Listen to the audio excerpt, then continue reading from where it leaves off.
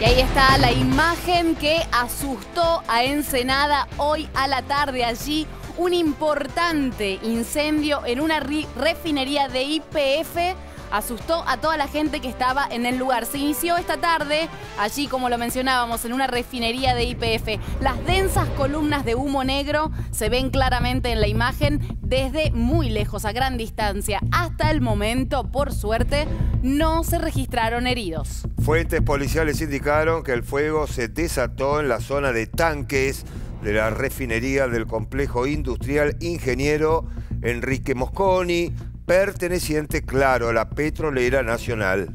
El lugar fue evacuado rápidamente, mientras varias dotaciones de bomberos, al menos tres o cuatro, se acercaron para iniciar los trabajos de control del fuego, que se habría iniciado, como decíamos, a media tarde, alrededor de las 16.30, y todavía se está intentando controlar.